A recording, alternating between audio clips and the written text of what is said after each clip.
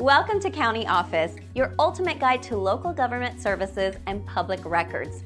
Let's get started. What political party is J.D. Vance affiliated with? J.D. Vance, the junior United States Senator from Ohio, has a fascinating political journey. Born on August 2, 1984, Vance has transitioned through various phases in his life, from his early days in Middletown, Ohio, to his current role in politics. Vance's early life was marked by his service in the U.S. Marine Corps, where he served as a military journalist from 2003 to 2007. After his military service, he attended Ohio State University and later Yale Law School, graduating with a law degree.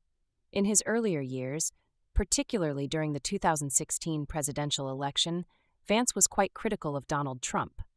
He even considered voting for Hillary Clinton due to his strong dislike for Trump at the time.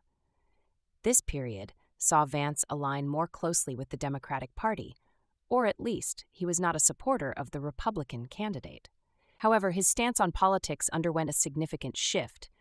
By the time he ran for the U.S. Senate in 2022, Vance had become a strong supporter of Donald Trump this transformation was solidified when Trump endorsed Vance in the primary, helping him secure the Republican nomination. Vance won the 2022 United States Senate election in Ohio, defeating Democratic nominee Tim Ryan.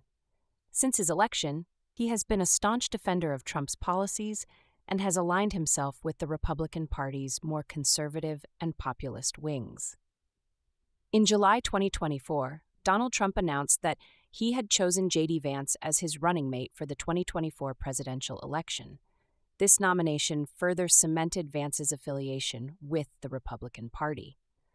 As a senator, Vance has sponsored several bills and has been involved in various legislative efforts, often reflecting his conservative and populist political views.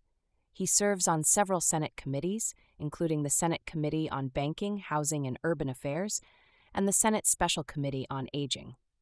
Given his current role, legislative actions, and public endorsements, it is clear that J.D. Vance is affiliated with the Republican Party.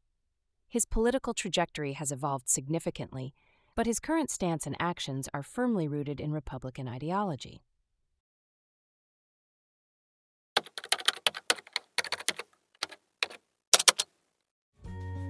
To learn more, check out these links, which you can click in the description below and feel free to comment your questions. We're here to help. Thanks for tuning in to our video. Please like and subscribe and leave a comment below. See you in the next video.